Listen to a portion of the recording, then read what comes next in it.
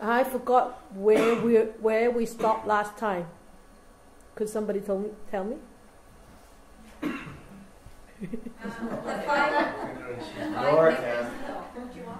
Still on the five hindrances?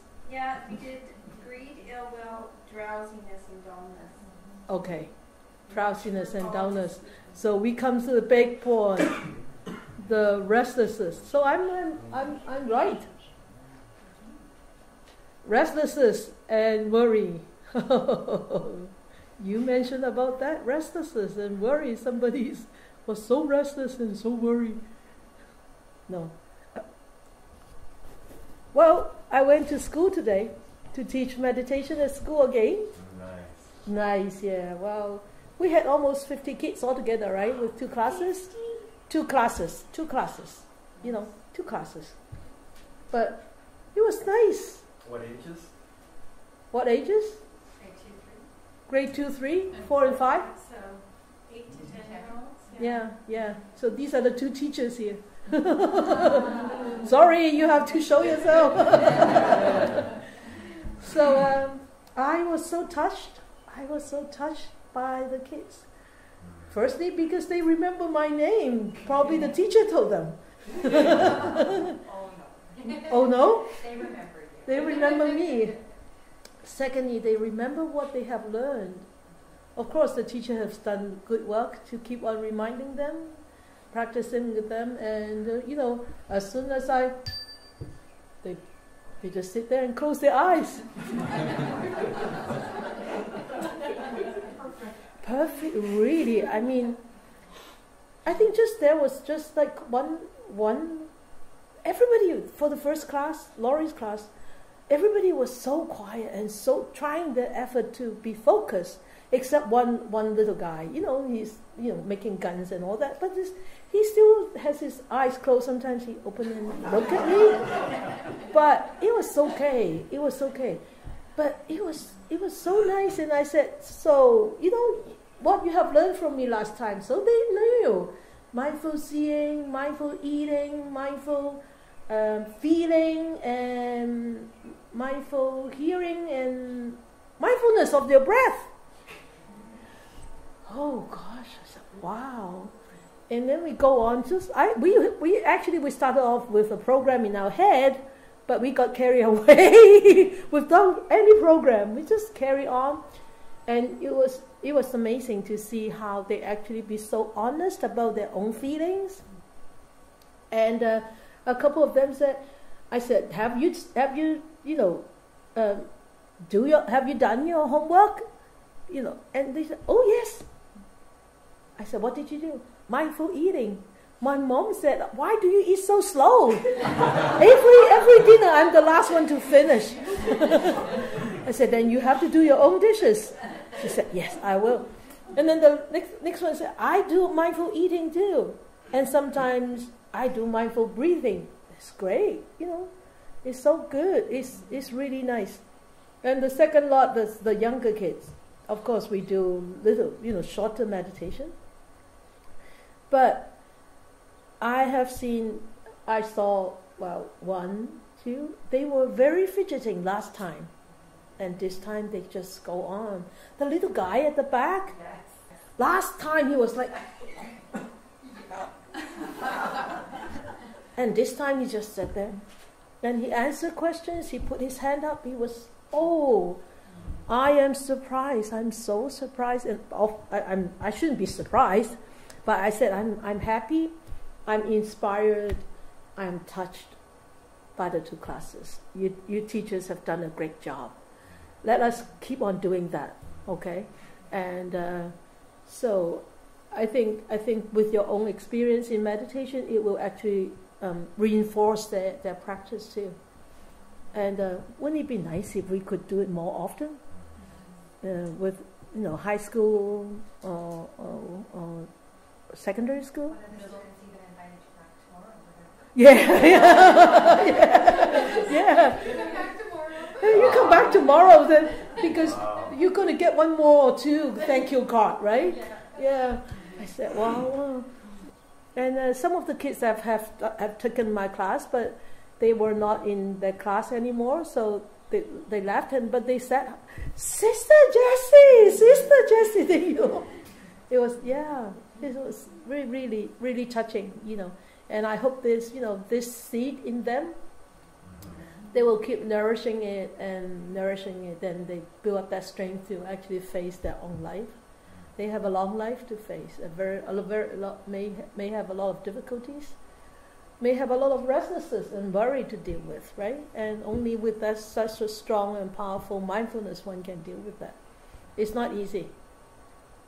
So when we we know that when we worry, our mind doesn't settle, and our mind is sort of like floating and you know becoming restless and and and and that's why you know restlessness and worry always go hand in hand together.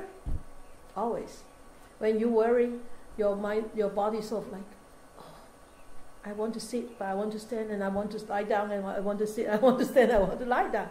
So it's, they all go hand in hand together. Why would you? Why?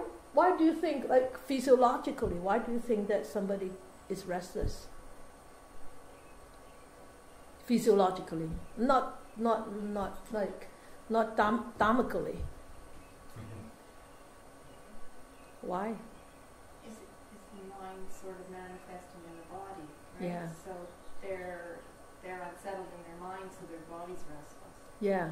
At first, that that that that also, and sometimes physiologically, somebody has too much energy in the upper part of the body. Mm-hmm.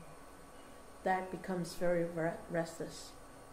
So you know, um, for example, when you when you feel so like a lot of heat up here, you become very easily become very restless.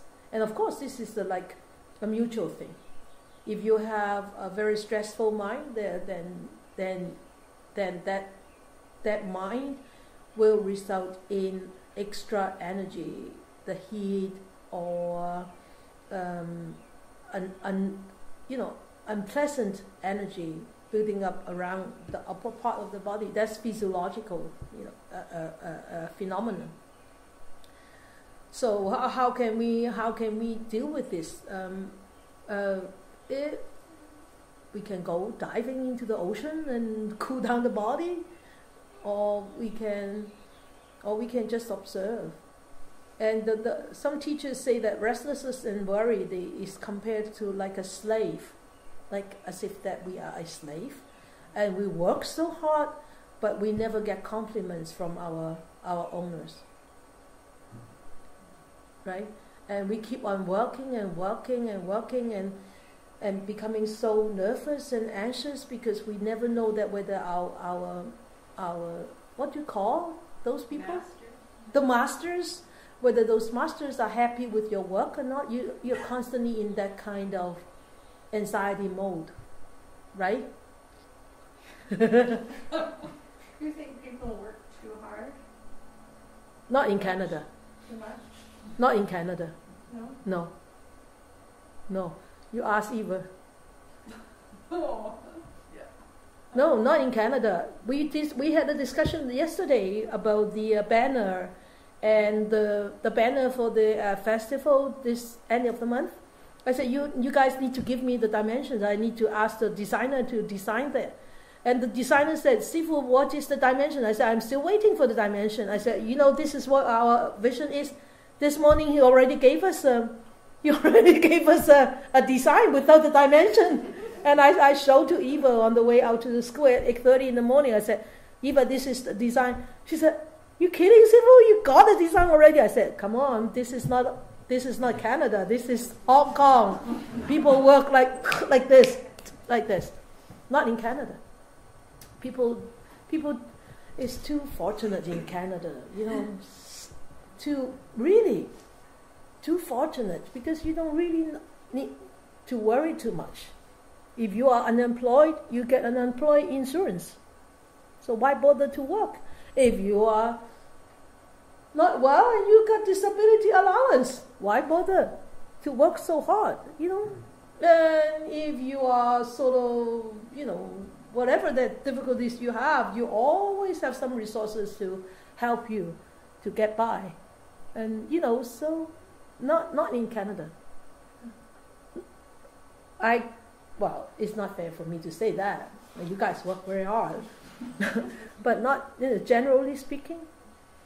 Generally speaking, do you mean that work, work, Well, or practice? I'm just thinking that if somebody didn't take the time to um, calm themselves, like if they're always in a work state and busy, Yeah, like maybe I mean busy, busy, know, that they don't take that time to. off.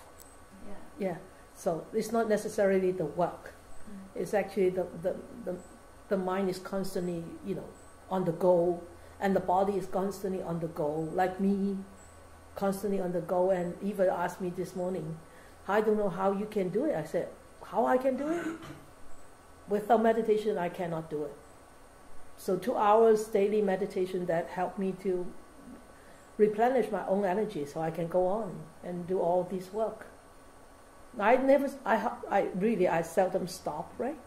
I, I, I go to bed at 12 and get up at 6 in the morning every day, almost. Sometimes I, I go to bed at 2 and still get up at 6. How can I do it? Sometimes I yawn a bit and Eva said, You tired? Yes, I said, I'm tired. I close my eyes for 10 minutes, I come back and feeling very refreshed. You need, you have something to say? Yes, I, I, from my own experience, I think fifty years ago it was very, very different. I think people worked then, At that time, yeah, yeah, in the past. That was a long time ago. Yes, I remember my mother, my, my parents used to work very hard. Yeah, but at that time working, there, there, at that time, the the the goal of working is actually very simple. Was very simple, just to sustain the family. But now, that crazy work is to fulfill the craving. So it's actually very different, with just that intention set out. It's very different, and it actually burns up a lot of energy. Agree? Sort of, yeah. Okay. So the more you worry, the more restless you will become. So try to try to be observant. Okay, worry. And you once you start to become aware of that worry, that worry disappear. But the next worry will come up again. The next worry will come up again. And that's why we think the worry is permanent. I, why do I have so much worries? No. Actually, each time, each time, each worry is different. So you just have to observe that worry. There's a worry. I address, okay, there's a worry. It's gone. It's gone. The next worry comes up. But because they come up so fast and so frequent that you think that worry is sort of like a real thing existing. But it is not. So that is that is the, the, the truth that we, we have to start seeing so that we can break that we can break that cycle. I've noticed from my experience that the content really doesn't matter. No, It's just, it's a habit. it, and, and I see that, as, oh, this, and then I, and then that one's dealt with, and then the, the content changes, Yeah, yeah, but underneath it doesn't. no, no. So yeah, it's true. The content it doesn't change. I mean, the content changes, keep con- changes, but that habit pattern is a habit pattern. It's a reactive pattern. So if you don't correct that from the deep down, you will never be able to deal with that. Okay? It, yes. I remember hearing about um, an experiment that was done, I think it was something like 30 to 50 years ago, by some huge corporation like IBM or one of those. And they took salespeople, the top salespeople, and some of the worst salespeople, and they switched their territory. They put the top salespeople in terrible Uh-huh. territory and poor salespeople in Yeah. excellent territory, and they all did the same. Yeah. It's about what they're used to. It's, Yes. That's what they found. Yeah. It's about the habit pattern that's The habit pattern. so established. yes. It's the known is what's comfortable.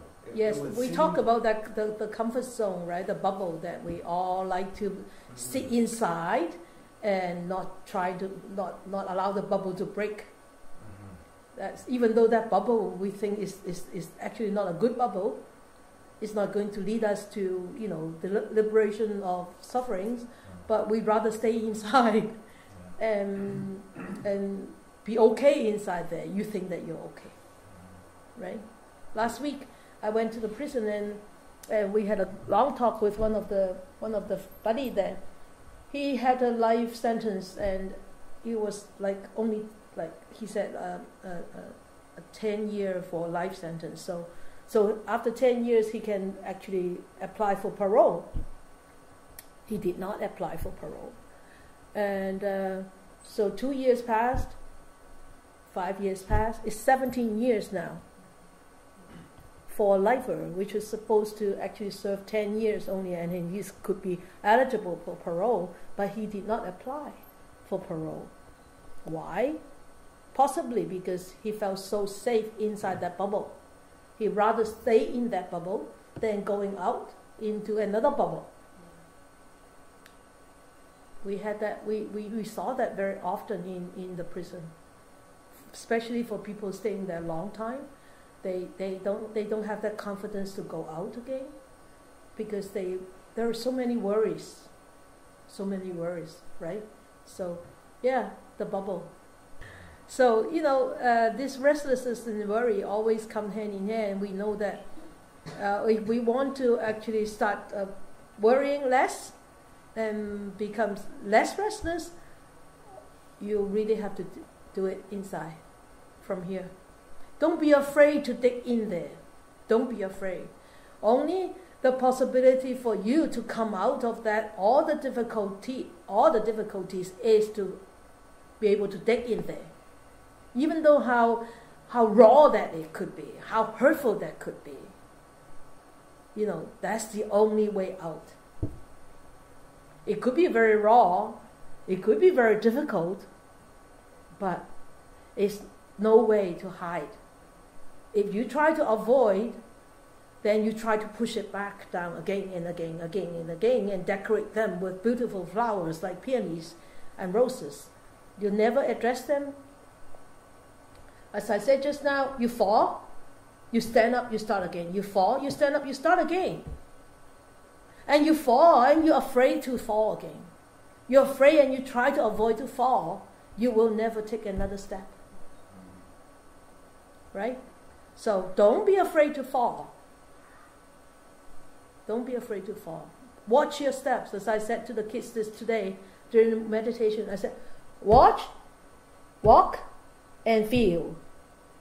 Watch, walk, and feel. that's my that's my slogan for the day. Watch your step, walk your step, and feel your step.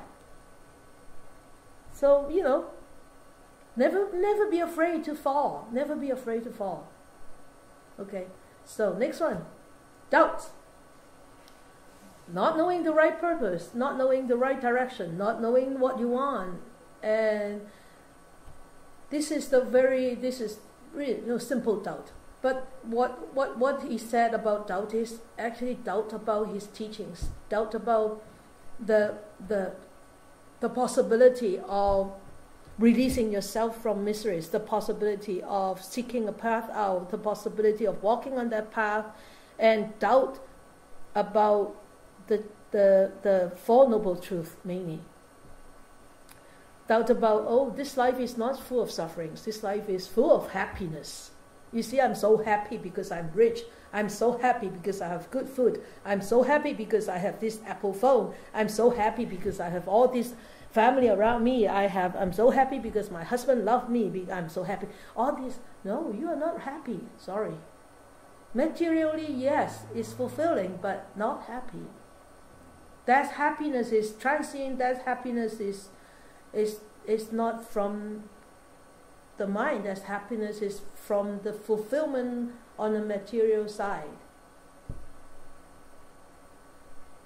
The real happiness cannot be bought with money cannot be uh, cultivated because you have such thing, such thing. No.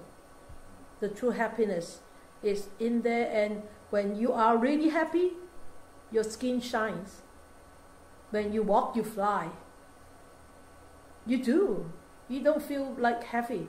And when you talk, people can actually experience your, your, your, your spirit, your happy spirit. And but when you're sulky, they can experience your sulky spirit too. right? Yes, Bill? I don't think, I don't think happiness can really be expressed. It's something that can only No. be felt. Yes, yes, yes, yes. So this doubt about the, the teachings is actually the, the, the, the what he actually meant. So when we have this doubt, we are actually constantly in darkness. Yes, was wondering, if we actually had no doubt, would we live differently? no. We, we would have lived really like a zombie. Because we won't be curious enough to go and go and search for answers. But we, we, if we don't have any doubt. If we have no doubt in what the Buddha taught now, right? So Yeah. say we all here embraced it fully, Yeah.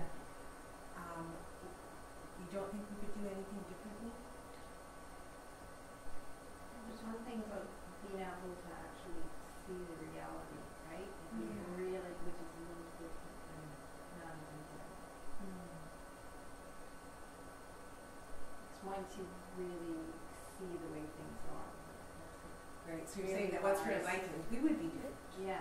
Yeah, but that doubt is actually is very sneaky. And sometimes it could be very subtle. It's not big doubts. It could be, you know, very little subtle doubts.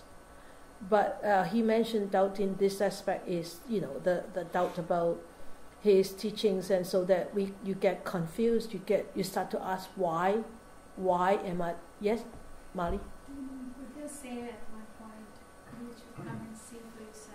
Yeah, the experience. Yes. That's why, because when we have doubt, then we will start to look for ways, right? And we will start to experience, and we will start to re- no verify that with our experience, right? Right?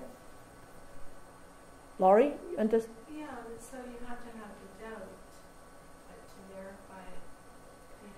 yeah, but the doubt, the, the the doubt at that time is not an obstacle for you to search, but if if it becomes an obstacle, then that that is a hindrance, right? I guess the difference might be is if you hear some particular phrase or, or something that the Buddha taught, you may have doubt enough to go check it out or try that practice and see if it works. But the other doubt would be, I doubt that will work, so I am not going to try it. Yes, yes. That's Yes. a little bit more. Like like the story I shared with you last week about my mom, right? And I asked my friend, so is it going to work? He said, I don't know. It depends on you. I said, Oh, it depends on me? I thought it depends on your Buddha to come and help me. He said, No, no, no, no, no, no, no. He doesn't come and uh, extend a helping hand. Come on. No, no, no. You have to walk the path. You have to do the work yourself.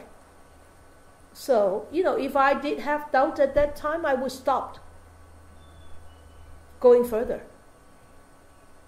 Right? But sometimes that doubt could be very useful. If it is a good doubt, I doubt about my ability. Okay, let me try. I put my effort in. What if you used curiosity instead of doubt? I think curiosity is better, but this doubt is actually meant that they don't believe in the, they don't be, trust the words of the Buddha. Okay, that that's when it becomes a hindrance. Yes, I have a, uh, a clip report from Buddhist studies, and it refers to this restlessness as being largely erotic in its character. Mm. What's the link? What's the link? Erotic, Just erotic. like yeah. erotic or neurotic, or you know, just just restlessness, just couldn't settle down. Some people is like that. You can see that, you know, and especially nowadays with uh, so much attention diverted towards the out, outside world, the restlessness become more and more. You see why people become rest? Why people constantly have to go to their cell phones to check to check their messages. Why?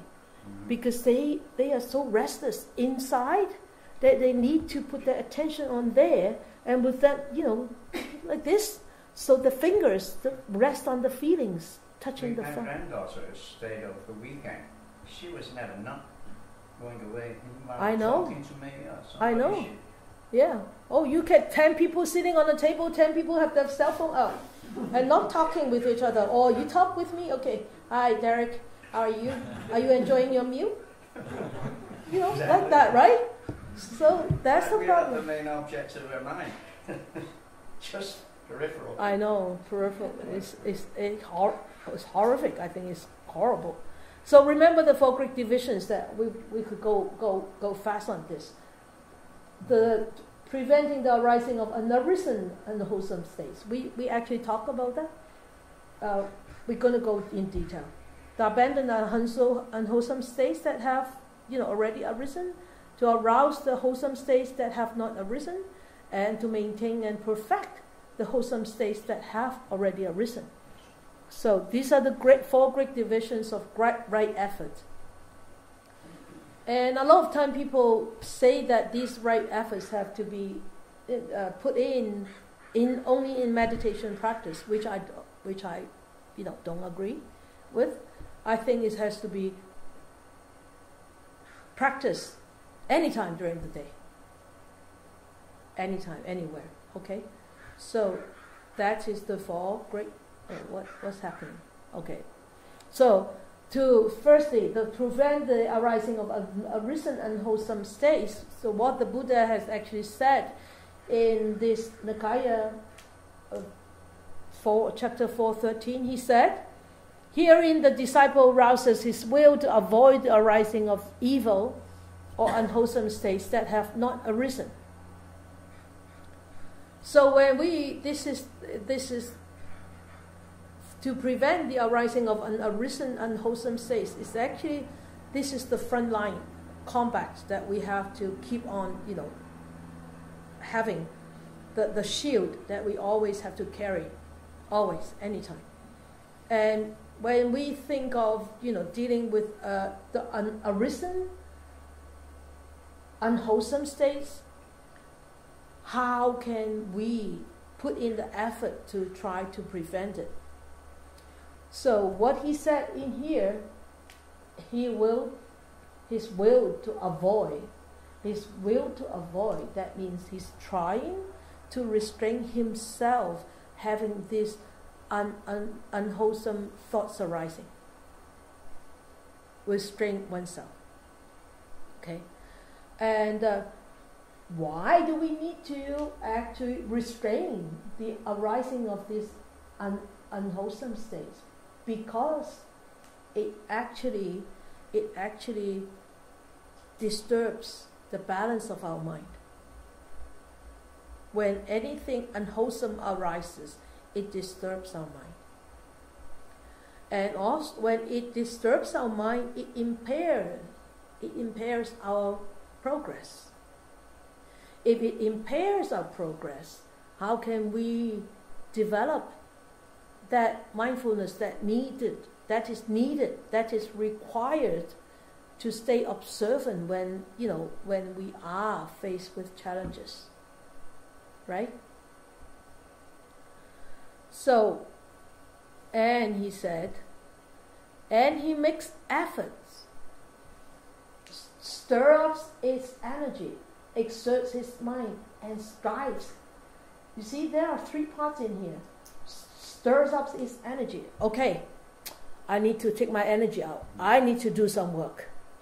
Yes? I think it's good to have a, an image in one's mind to help. Uh, I'm just reflecting on the monk Honan, who referred to unwholesome states as being dust on the mirror of the Yes, mind. You yes. have to blow it off. You have to blow it off. Yes, you have to stir up your energy. I notice there are dust in the mirror of my mind. I need to blow it out. So you take a deep breath and you exert your mind and you blow. And if it's not clean, then you blow again.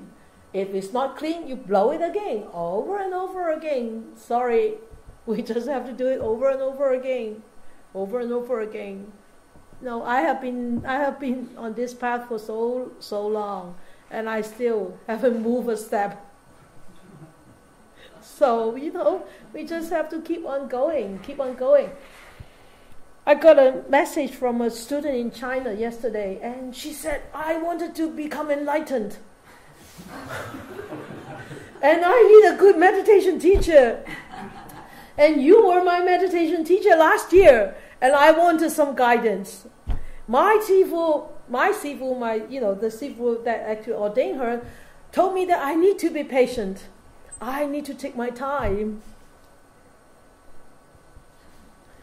And I was I was reading his her passage, and she said, because in the old days there was one person. He knew that his time is running out, and he exerted his energy, and he worked hard, and he worked hard. Within one day, he became enlightened, and I just wanted to be like that. And I look at that passage and I said, How am I going to answer her? I'm not enlightened and I don't know how. But I, I, I, I, I, did, I, did, I did reply to her message. I said, If you want to reach that state, there is no shortcut. There is no shortcut. When you wanted enlightenment so desperately, you already lose that equanimity. And you lose your awareness of the way it is at this moment. And that's you are walking away from that destination already. You're not in on the path already you are you have veered off.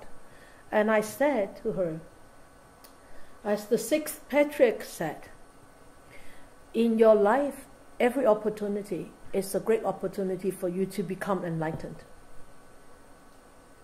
You cannot leave that. You cannot you cannot hide that. You cannot avoid that. You cannot, you know, doubt about that. Every life opportunities is a great chance that was a good answer, wasn't it? Perfect. yeah, because uh, you want to live fast. Sorry, you already lost that equanimity. You lost that balance of the mind. You're not grounded anymore. Yeah, internal states uh, are visible. I remember a lady, uh, there was a cook at uh, the maximum security prison, and uh, she had attended a series of talks on Buddhism that I had given at the university, and not by virtue of me, but, but teaching. Uh, I, I met her one day and I said, why, you look like you're wearing the three jewels. She said, I am. I've taken the refuges. Oh, wow. Oh, great. It's very nice. Yeah, yeah. So, so you know, and uh, and actually, Bhikkhu Bodhi said that um, it is the sense experiences that sparks off the hindrances into activity. It's all the sensual, sensual activities. And he said, because it's the eye to the form, the ear to the sound, and the nose to the smell, and the tongue to the taste, the body to the touch. It's all these outside sense objects continuously impinging us on the, on the senses and send messages to the mind where it is processed, evaluated, and responded. And we did that with the kids today. Uh, we were meditating, and then there was this sound, really loud sound, and then the, the kids was starting to fidget. So after after that closed eye meditation, I said, "So how did you feel with that sound?" And he said, "Annoyed." Annoyed quite a few kids that annoyed and uh, disturbed. Um, don't like it. Got confused because of the sound. I said, it's the sound. Don't make it to become a noise. When you start to react to that sound, you actually make turn the sound into a noise. And a noise is negative. But a sound is neutral, it's nothing. A sound is just a sound. A taste is just a taste until you start to like it or dislike it. it becomes a good taste or a bad taste. I like this sound. I don't like this sound. This is a pleasant sound. This is an unpleasant sound. Right? So it's all in the mind. So the mind deal with this, all these impressions, all these messages in different ways. Sometimes very carelessly, sometimes very unwisely, and sometimes very unmindfully.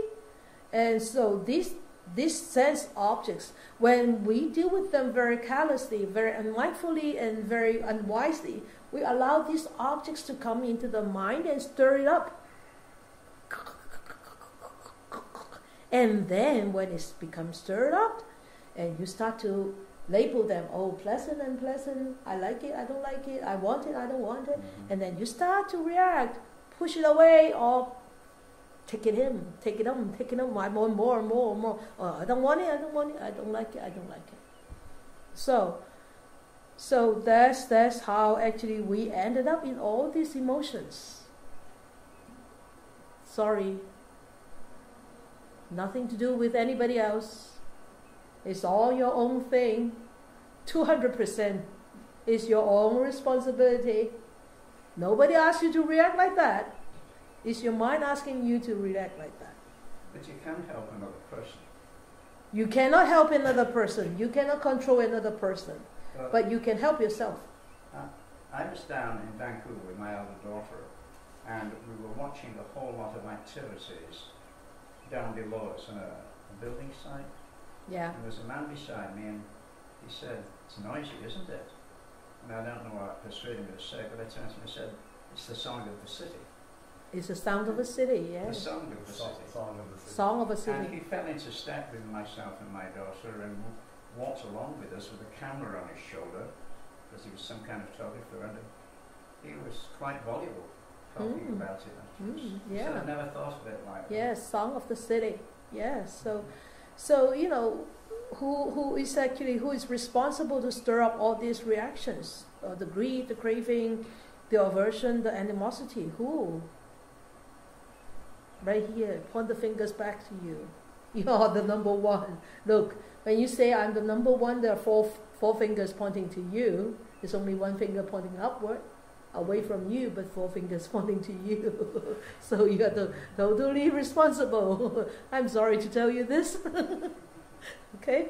So in order to actually to restrain this arising of the unrisen unwholesome states, we need to have control over our reaction to our senses. That's why the Buddha said, when he perceives a form with the eye, a sound with the ear, an odor with the nose, a taste with the tongue, an impression with the body, or an object with the mind, he apprehends neither the sign nor the particulars. Well, neither the sign nor the, nor the particulars. Not yeah. Pay attention to this, okay? And he strives to ward off that through which evil and unwholesome states, greed and sorrow would arise. And if he remained with unguarded senses, and he watches over his senses, restrain his senses. You see? So he said restraint of the senses doesn't mean that we deny we deny or we withdraw from the sensory world. We address them. We just address them, but we don't react to them. It's very difficult. Very difficult. And uh,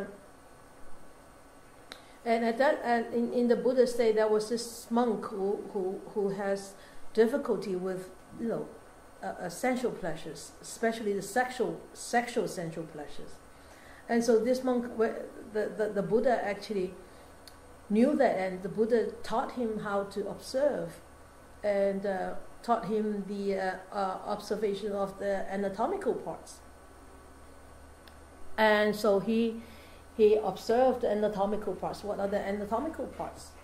The bones, the flesh, um, the skin, you know, all those things.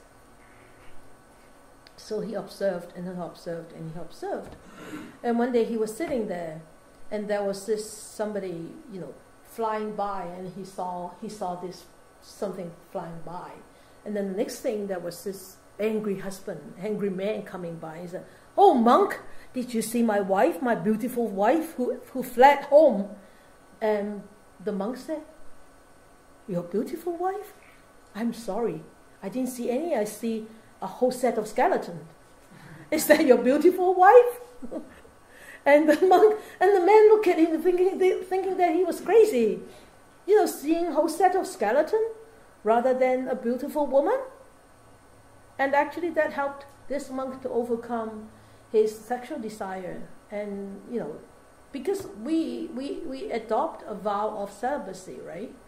So if we cannot overcome this kind of sexual sensual desires, it's going to really be a big challenge. It's very difficult, you know, to, to, to, to keep our monkhood is because we could be easily lose our precepts, you know, break breach our precepts or break our precepts, uh, because like I'm yes I'm constantly in contact with men and with women, and if if we don't have that in our mind, if we don't work that through, it's so difficult because this is a very very big obstacle for for practice.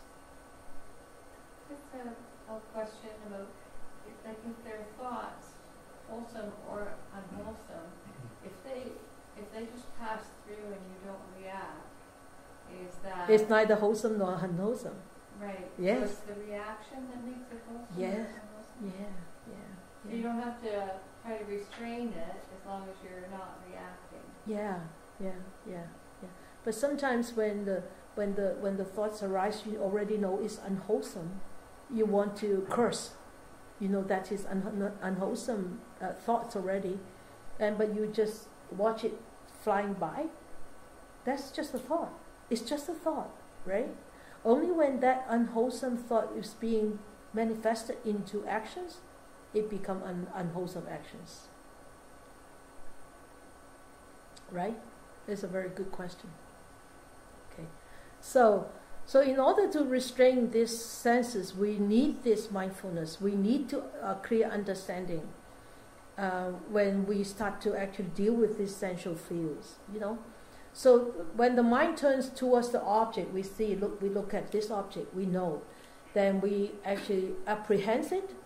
Then we we actually perceive this object, and we examine and we identify, try to identify immediately following this identification with this, I, I, I ide- identified this with me, with my eye, with my mind. Then before, before we start to actually have an evaluation of this identification to this object, there is a little space in between, a very tiny space. And that space actually allow you to take a choice whether to act like this or to act like this. That's why we always say start off with no judgment, no identification, no interpretation, no expectation, no labeling, just the way it is. So, before you start to evaluate whether this is nice, this is not nice, whether I like it, or whether I don't like it, there is this gap that we can make a choice. And that could be a wise choice if you have mindfulness, or could become a very bad choice if you don't have any mindfulness. All right? So, so we know when this mindfulness is absent, the defilements, the hidden defilements inside our mind will start to push for an opportunity to surface.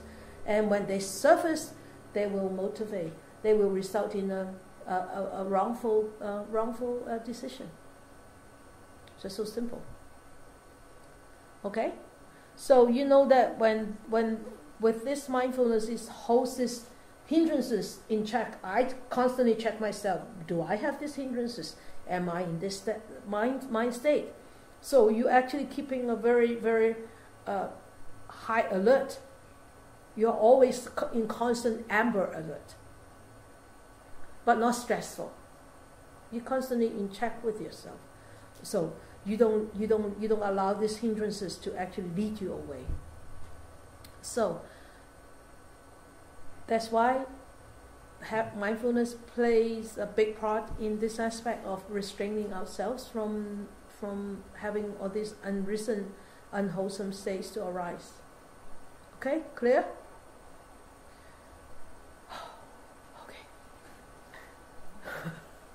Much talking today. Mindfulness. So we we know that we, it, re, mindfulness is so remembering and noticing and reapplying, constantly reapplying it again and again, again and again, and expanding and extending the moments of mindfulness. Now we have one second of mindfulness, might being mindful. Next time we have two seconds. Next time, and sometimes we make wrongful decisions. Sometimes we react. Sometimes we become unhappy. Sometimes we become doubtful. It's okay. That means that doesn't mean that you are const- permanently doubtful. That means that doesn't mean that you're permanently unmindful, right? Because of this law of impermanence, so that's why this world is filled with so much hope. Our life is so hopeful, just because of this.